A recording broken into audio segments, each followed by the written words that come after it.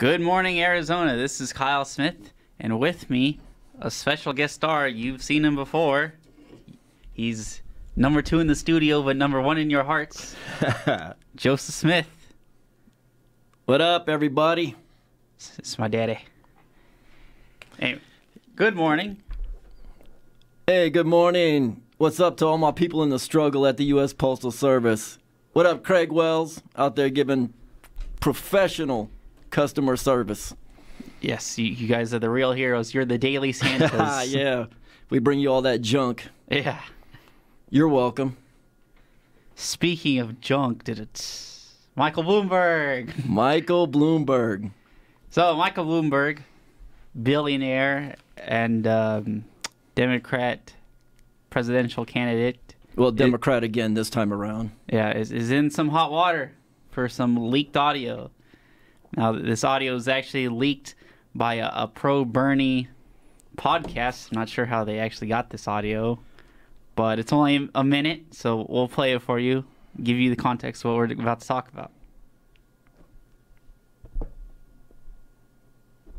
95% of your murders and murderers and murder victims fit one MO. You can just take the description, and Xerox it, and pass it out all the cops. They are male, minority, citizens, is what you. That's true in New York, it's true in virtually every city.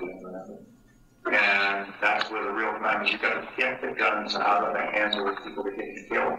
So you, got you want to send the money to a lot of cops in the street, put those cops where the crime is, which means minority neighborhoods. So it's one of the unintended consequences is people say, oh my God, you are arresting kids for marijuana. They're all minorities. Yes, that's true. Why? Because we put all the cops in the minority neighborhoods. Yes, that's true. Why do we do it? Because that's where all the crime is.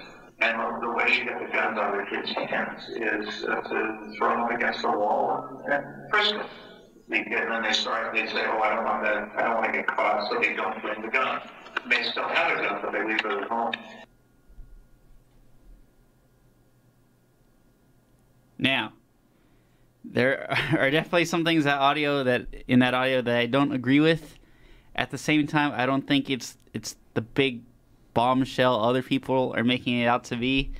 Um, even President Trump tweeted out the audio and said Bloomberg is a total racist before then deleting it, later saying that he rethought it and didn't want to divide the country further. But it it is is a popular opinion to be calling Bloomberg a racist as of right now. Well, my problem is not even with what Bloomberg said or if you want to think it's racist, not racist, that's that's up to you. My problem is always with the left and their hypocrisy because stop and frisk is unconstitutional. You're racially profiling people.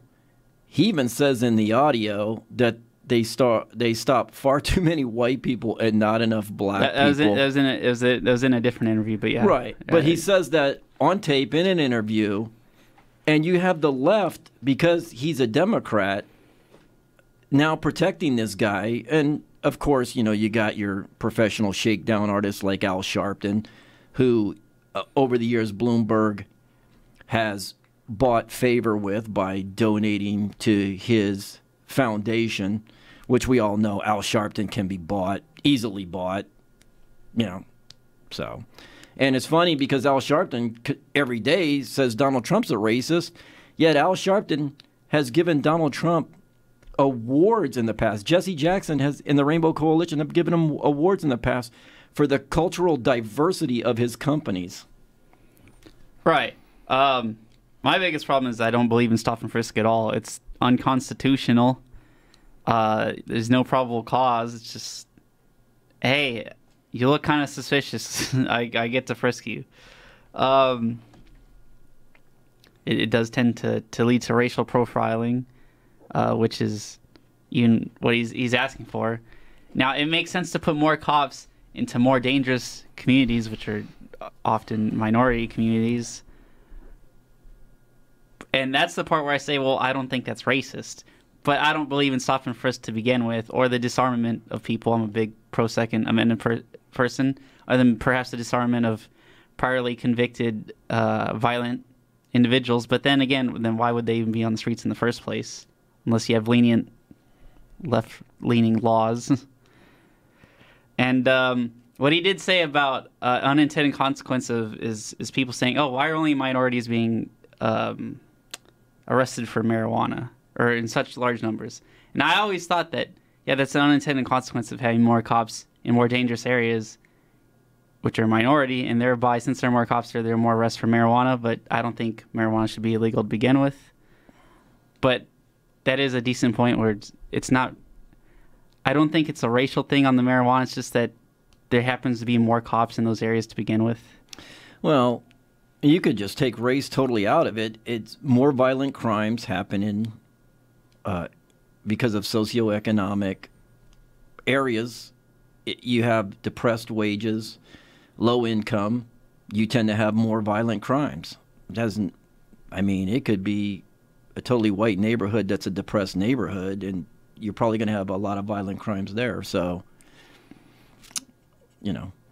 Right. S- statistically, what he was saying wasn't false. Uh, the leading cause of death for black men aged 15 to 34 is homicide. Um, for white individuals, that, that shoots way down. I think that barely makes the top 10. Um, uh, black individuals make up 52% of convicted murderers and 48% of murder victims. So, what he was saying, statistically, what he was saying wasn't, you know, racist. And I don't know him, but uh, I think a lot of people talk about that have the good intent of they they they want to bring those numbers down because that protects black individuals. That doesn't hurt them. So I I think the racist portion is a little out of proportion on this audio, but again, I don't believe in the stop and frisk in general or uh, the disarmament of people. Well, once again, for me, it's not so much what he said because I'd rather that these tapes be out there, and it's so funny because a lot of people forget that, uh, you know, any almost anything you say now ends up on the internet and it's there forever. But my thing is, hey, we should know how how all these candidates really feel, and and now we know how he felt about the stop and frisk, whether he's gone on his apology tour or not. My thing is with just the hypocrisy of the left, who say it's racist for only one half the country, but oh, that's different when it's one of their own. Man, make a stand. Have some morals. Well, Good lord. What I what, what I think is hypocritical is that that he he's okay with violating the rights of U.S. citizens and stop and frisk, but a border wall, that's not okay. just just just, just keeping out, just helping to keep out those drugs he's talking about, or potentially those illegal weapons. You know, that's that's not good. A border wall is not good. But but then violating people when they're here, that's okay. That makes no sense. Yeah. So. Uh, I that's enough about Mini Mike, I think. Yeah, min, min, miniature Mike. He's he's not going to win anyway. Does everybody get a box? Yeah. the the he's he's immeasurably rich. He could I forget what I heard. He could spend multiple millions of dollars on advertising each day up till until the election. He'd still be a multi-billionaire. He's well, last figure I heard, he was worth sixty-two billion dollars. I mean, that's amazing. That's insane. And uh, my understanding is is uh, I'm sorry, I can't give credit to the author, but they laid it out about how how obviously he's trying to buy his way in, but the way he's spending his money is very smart.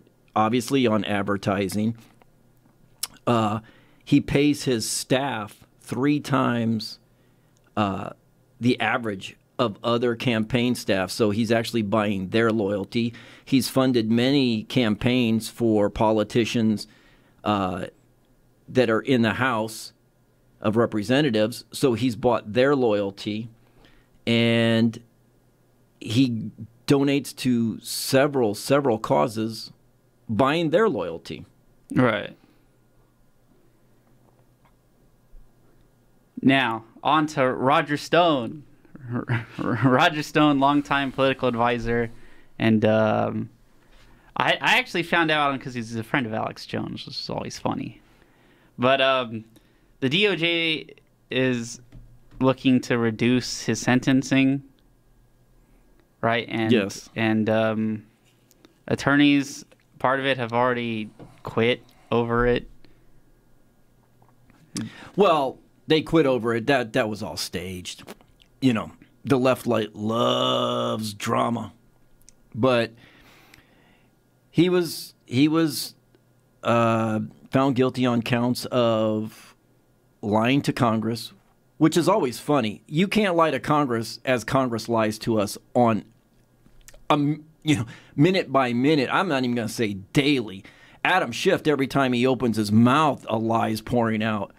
But it's okay when Congress lies to the electorate, but heaven forbid you lie to Congress. Or, or Hillary Clinton lies about her emails, or just, Well, Hillary Clinton was caught lying under oath. John Brennan was caught lying under oath. James Clapper was caught lying under oath. James Comey was caught lying under oath. Andrew McCabe was caught lying under oath. And, and the point is, I'm not saying that these people should get nine years for perjury. I'm saying Roger Stone was, Equal application of the law. yeah, was unfairly giving a, given a long sentence. Now that they're looking to reduce it, people are quitting and making it political. Or just, oh, Trump is is is just trying to get his buddy out, and they're not looking to get him out entirely. They're just looking to reduce the sentence. Well, hopefully, uh, after he's reelected, Trump pardons. If if Stone Stone should get a new trial. For those of you that don't know, the jury foreman on his trial lied during the dire, uh, saying that she had never followed the Russian collusion case, the Mueller report, and then boy, Roger Stone's his defense attorneys must be god awful because nobody found out till after he was found guilty that she's a liberal activist, ran for Congress, uh, constantly tweeted about the Mueller investigation, uh, and about Roger Stone himself. And she ended up the foreman on the trial. Amazing. Only in America. Right. I don't know. I always just liked him because he's funny, and just watching him on Alex Jones, which I never take seriously. I just Oh, always thought they were funny He he is a really funny guy because he's pretty quirky. yeah. But you know, the other thing issue I had with, and here's another thing with the the hypocrisy on the left when they're always screaming about police brutality. Both him and Paul Manafort are older guys. These are old men who, when they were arrested, anybody else in these situations would have been told for uh, their attorneys would have been told that they needed to surrender by a certain date, and the attorneys would have brought them in to surrender. These guys were both homes were had pre-dawn raids with men in full tactical gear, and you don't see that as an overreach and police brutality. Absolutely ridiculous. Now we got to bring a whole SWAT team for these old men, these these old political figures. Yeah, it, yeah unbelievable. They, they didn't even raid Antonio Brown, and he's much more dangerous than Roger Stone. So, get help, Antonio. Yeah, uh, oh well, Get help, buddy. I don't know how much help can help him. No, he he can get help. Um, moving on to something I just saw this morning uh, in a recent interview. President Trump said he'd have no problem voting for a gay president. Wait, uh, he, he, he's not going to vote for. Obviously, he's not going to vote for Buttigieg. He's he's in the race, but he's just he said in the future, just out of principle, he has no problem voting for a gay president. It really doesn't affect how well you could lead, and um, which is which is a positive because that's that's always a part of of a conservative. It's part of conservatism that I don't like. Is just is just getting mad over dumb stuff that doesn't affect you. Because I'm more libertarian than that. I'm I'm not super religious. I, I mean, I grew up with a religious background, but over judgment of people just on that sort of stuff that doesn't matter is always a part of conservatism I didn't like. Like the more far right, overly religious sort of right. And I think just President Trump saying that is is leading in a good direction for for conservatives to try and compete in a culture war.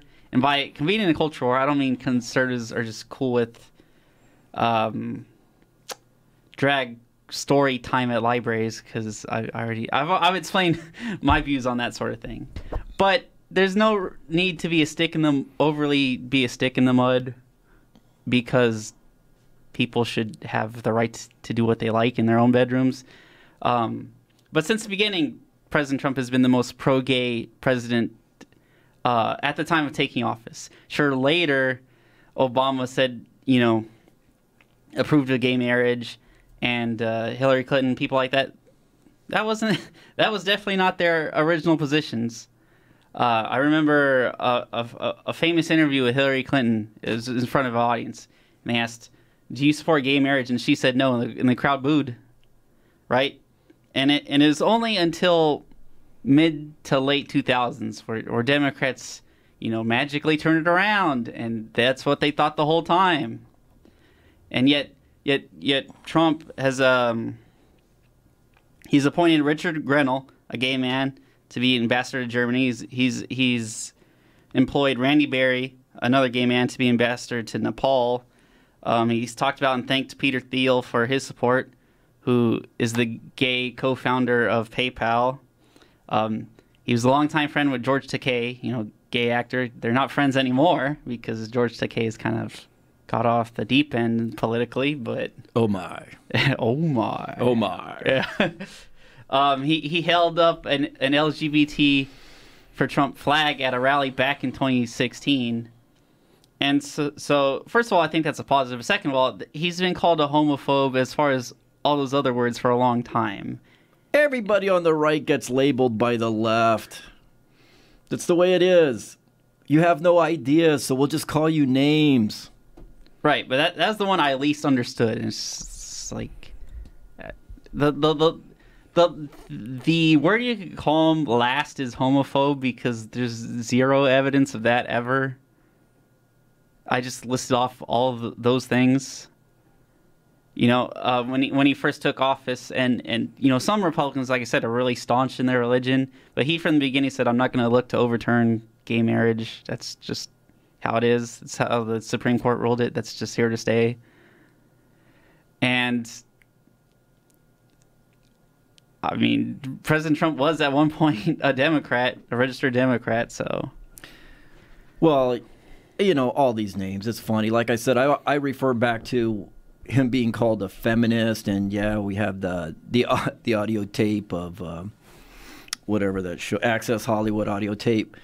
And I still go back to 1978, the start of Trump Tower. The person he selected to be in charge of the entire project a female. That's how feminist he was. In 1978, he chose a woman to oversee that entire project. Uh, I heard an interview with her, and she was talking about how he always called women his women executive killers because in business they were. He always said they were way more ruthless than men, and that he would never want to negotiate against any of them because they they had that killer mentality that they were they were going to get the job done. So, yeah, he's a feminist too. We're all fem. Hey, look, if you have right, if you lean to the right, you're you're you're everything. You're homophobic, femin. You're a, you're a feminist. You're a misogynist. You're uh, xenophobic. Eh, whatever. yeah. Whatever. Hey, you know what? Come up with some ideas that we can debate. You know, you can always resort back to your name calling later when you lose the debate. Right. But it's just, it's just it's just funny the revisionist history of especially Hillary Clinton. Just just like oh yeah I'm, I'm pro gay and I've always been and it's just, Oh. yeah Well, Hillary Clinton's another one that if you go back, there's tapes of her as a prosecutor referring to young black men as super predators. yeah So this this I can't even see what I want to say. you know, while they were extorting foreign countries, uh, getting all those donations to the uh, Clinton Foundation. Kind of funny too, since we're speaking about Hillary, that the international wing of the Clinton Foundation, as soon as she lost again, because she's a loser, all that foreign donations dried up because that I mean, who you can't buy access to somebody who's sitting at home. Oh. So, Yeah, but I mean, well, she's not sitting at home anymore. She's just talking. oh my God, why do people have this? She, what do you, what do you want? You want, you want her to come on and tell her how she lo- loses and her 50 million excuses as to why she lost. Every excuse other than the fact that she was a horrible candidate. She rode the coattails of her husband. She, you noticed after they got out of office, she didn't go back to Arkansas and run for as a senator from Arkansas because they knew the Clintons there. She wouldn't have won jack. She had to move to New York City, establish residence, and be elected in a far left leaning city. Because she, di- yeah, those that know her know. Would you would you take her over any of the current Democrat candidates? Oh my God, they're all disasters. I mean, you got socialists, you got. Uh, You got a rambling old man. He, he talks about he calls people Oh, lying hey. dog faced pony soldiers. That's the best. Um, yeah, you got you've got a a woman who's lied her entire life. Get- Pocahontas. gets caught in lies, which is funny because uh, uh, Da Nang Dick Blumenthal is another one who lied about his service in Vietnam. He's busted, and the idiots of his state continually vote this guy back into the Senate. So, you know, we sit out here and we talk about corrupt politicians, and yet we just vote for him over and over again. yeah. It's a government of the people, for the people, by the people. Get involved, pay attention, I agree. I, I I would love it. and stop giving up your rights. Yeah, I would love it if we had a lean government. and We didn't have to pay attention because I don't think you should have to. You should just live your own life and focus on yourself. But um, unfortunately, that's, that's not the federal government should do the bare minimum of what the federal government should do. That's and, and same with state governments, and the and most of the power should re, should rest in a state government. They know what's best for their own state, not somebody that's twenty five hundred miles away from you, living in a cesspool in their own little political bubble. So, Speaking of federal government, one one thing I, I do disagree with, with President Trump on, and I know he, he's he's doing this for political reasons. Whether he totally believes it or not, I don't know.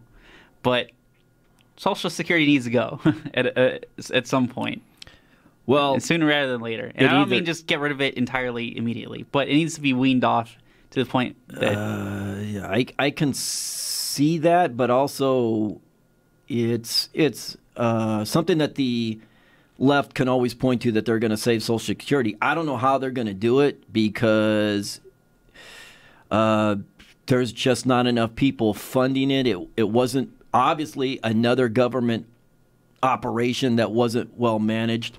by FDR. Yeah, well, I mean, and that's why I say stop giving up your rights. This whole Medicare for all. Hey, have you seen the way the government runs things? Look at the VA. It's an absolute disaster, and now these guys want to run an, an entire medical Uh, operation. As far as I know, the VA has improved under Trump, but I still has improved. But- It's a disaster. The government. I- Here's what I always tell people: if for that think that we need more government. If you owned your own business, which obviously most of the people on the left don't have that kind of drive, but let's say you owned your own business and you had to contract out to another company for something you needed done that your company doesn't do, and one of the bidders was the federal government, would you actually even seriously consider their bid looking at the way they run government? No, They're a disaster. Well, that's the thing about Bernie Sanders' plan is is how exorbitant the spending would be just off of his like estimates. And when's the last time a government project came under budget? So take his estimates and multiply it by at least you know another twenty five percent. we're, we're going to give everything away for free. Vote for me. I'll give you everything for free. Who's going to pay for all? And that's the whole thing. When they ask them, who's going to pay for it? Uh, Pocahontas always says, Well, I have a plan, but she would never lay out what the plan is because she knows she can't pay for it. It's, well, it's just like oh, let's give her student debt, but we're just gonna we're gonna be the ones paying for it anyways. We're not just it doesn't magically go away. right. It's just hey, instead of the students paying for it, the uh, the rest of America pays for it. Right. And here's the thing: you you don't need a, a, a big fancy four year college degree. You could easily go to community college or vocational school. Don't feel like you have. I well, obviously, everyone listening to this out on the mall right now is here. But for other people, you don't need to go to university, especially if you can't afford it, or if you're getting something that doesn't even really need a, a big degree. Like if you're going to be a doctor or something, that's different. But even if you're going into business, just go to community college. Yeah. Uh, hey, if you're out there and you're getting your bachelor's in gender studies, good luck to you. Well, You're paying for nothing. I mean that too. But so, like I said, stop. People, stop giving up your rights and freedom for what you think is security. Um, and big Second Amendment, pro Second Amendment rally down at the Capitol today, twelve to two. Uh, for those of you on the left that, which is funny because during the whole impeachment hearing, we kept hearing about how the Democrats got to protect our Constitution, got to protect the Constitution, all while they're at the same time trying to abolish the Second Amendment. And for all of you idiots making the argument that, well, back when the founding fathers wrote that all we owned, all the citizens owned were muskets, and now there's all these uh, war style weapons. Amazing. You guys, oh, you Well, guys just drive me nuts. But guess what? It's also what the U.S. military. Guess what the, time. government had? The government only had muskets. Sure, they had some cannons and stuff. So yeah, they had more weaponry than the citizenry. But now, the whole Second Amendment is about arming yourself against a tyrannical government. And I'll tell you right now, man, this not under Trump, but when you look at this bureaucracy and what's going on behind the scenes, man, I've taught my kids forever that the government was corrupt. Until Trump got in, I didn't know how corrupt because now we're seeing all the stuff that's going on to try to remove him from office. And the good thing is, these idiots are so inept that they can't even manufacture evidence and make it stick. That's how ridiculous they are. Well, in the Iowa caucus, they had, they had some incorrect polling, and they even came out and said they had some incorrect polling. But they said, "Oh, we can't change it for the, the quote unquote integrity of the election. You can't change the incorrect information because it's on pu- uh, on federal documents, and you can't change it for the integrity of the election." Oh. And Yes. um, we we have Epstein killed in a max security prison. The guards are just not watching him, and you know the only thing keeping that story alive are memes, really. And it's just like, how dumb do you think we are? But we, what are we supposed to do? you know? You know, lots of deaths around the surrounding the Clintons coincidental. Yeah. All coincidental. All right. Well, we're gonna go get suicided by the Clintons now. I hope everyone has a good day.